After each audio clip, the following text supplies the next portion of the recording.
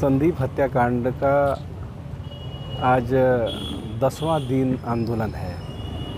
उनके जो हत्यारे हो पकड़े नहीं गए हैं। और उसको लेकर के लगातार उनका परिवार, उनके रिश्तेदार और ग्रामवासी सर्व आदिवासी समाज सब आंदोलित हैं। किसी भी समाज के लिए मृतक का डेड बॉडी को इतना दिन तक रखना समाज के लिए बहुत ये शर्मनाक बात है कि आज हम ऐसे समाज से आते हैं और उस समाज में इस प्रकार का अभी तक उनका अंतिम संस्कार नहीं हो पा रहा है और शासन प्रशासन के लिए श्रम की बात है। वैसे भी मुख्यमंत्री जी, माननीय विष्णुदेव साय जी विष्णु भगवान का जो शस्त्र है, वो क्या है? चक्र है, सुदर्शन चक्र है।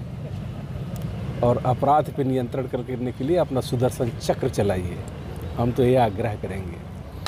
आपके पास वो अधिकार है कि आपका प्रशासन लापरवाही किया है, यहाँ पर नेग्लिजेंसी हुआ है। उस मृतक परिवार को ढाढ़स देने के लिए, उनको संतावना देने के लिए, आप शासन की ओर से कुछ घोषणा क्यों नहीं कर देते हैं? उनके परिवार को आर्थिक सहायता के लिए। छोटे छोटे बच्चे हैं, उसकी पत्नी है। किसी सरकारी विभाग में योग्यतानुसार बहुत सारे पद रहते हैं, क्यों नहीं घोषणा कर देते हैं? ये सब करेंगे तो मानवता के लिए भी अच्छा है, और मृतक परिवार के लिए भी, और जो आंदोलन बढ़ता जा रहा है, उसको भी शांत करने के लिए ये आवश्यक कदम है। उसको माननीय प्रदेश के मुखिया को सोचना चाहिए। देखिए समाज का मुख्य जो मांग है, वो मुख्य आरोपी अभिषेक पांडे की गिरफ्तारी है, और जिसमें पुलिस निरंतर गिरफ़्तार करने के लिए लगी है, और इस पे पुरस्कार भी उक्त व्यक्ति पे घोषणा हुई है। लेकिन अभी तक मुख्य आरोपी गिरफ़्तार नहीं हुआ है और इसके अतिरिक्त जो मांगे थी तो मांगे शासन द्वारा माननीय मुख्यमंत्री द्वारा भी घोषणा किया गया है। लेकिन अभी तक जो मुख्य मांगे पे बात रुकी हुई है वो अभी गिरफ्तारी नहीं हुई है। क्या लगता है लगातार आदिवासी देखिए अभी के समय में इसको राजनीतिक मुद्दा ना बनाकर पीड़ित पक्ष के साथ खड़े रहना चाहिए जो कि हम लोग खड़े हैं और निरंतर इस पर गिरफ्तारी के लिए भी काम किए जा रहे हैं और साथ ही साथ समाज धरना पे बैठी हुई है। और मांगे रख सकते हैं, इसमें कोई दिक्कत नहीं है। इस बात को शासन के माध्यम से भी और हमारे द्वारा माननीय मुख्यमंत्री जी तक पहुँचाया गया है। आज सर्व आदिवासी समाज के द्वारा ज्ञापन दिया गया है, जो आठ सूत्री मांगे हैं।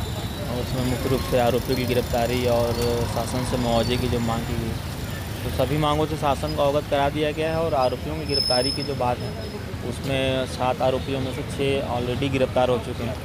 एक जो है फरार है और पुलिस पूरी तत्परता से उसको ढूँढने का प्रयास कर रही है। और जो मुआवजे की बात है, उसमें ऑलरेडी जो है शासन से जो आठ लाख रुपये मिलता है, आठ लाख पच्चीस हज़ार रुपये वो भी देने की घोषणा की गई है और अलग से दस लाख रुपये भी देने की घोषणा की गई है। तो सभी मांगों पर जो है शासन पूरी गंभीरता से और सहानुभूतिपूर्वक विचार कर रही है और प्रयास पूरा किया जा रहा है कि समाज को समझाया जाए कन्विंस किया जाए। और इस धरना को समाप्त कराया जाए। अंतिम संस्कार को क्या बात सामने आ रही क्या लगता है उसके लिए भी पूरा प्रयास किया जा रहा है लगातार समाज से बात की जा रही है। आ, उनके जो कुछ मांगे हैं उस पर ही वो अभी फंसे हुए हैं। तो हमारी तरफ़ से पूरा प्रयास है कि जल्द से जल्द अंतिम संस्कार किया जाए। सौ कहाँ रखा गया है अभी जो है मरचूरी में है मेडिकल कॉलेज अंबिकापुर में। आज सर्वादिवासी समाज के द्वारा जो कुछ दिनों से जो धरना प्रदर्शन किया जा रहा था आज उनके द्वारा जो है वो रैली निकाली गई। रैली निकालने के बाद में उनकी जो आठ सूत्री मांगे हैं, उनको पूरा करने के लिए एसडीएम सीतापुर को जो है ज्ञापन दिया गया है। जिसमें कि आवश्यक जो बल और व्यवस्था जो है लगाई गई थी। हमसे जुड़े रहने के लिए हमारे YouTube चैनल को सब्सक्राइब करें और नई वीडियो की नोटिफिकेशन के लिए बेल आइकॉन को दबाएँ। अगर आप ये वीडियो Facebook पर देख रहे हैं तो लाइक ज़रूर करें और ज़्यादा से ज़्यादा शेयर करें। धन्यवाद।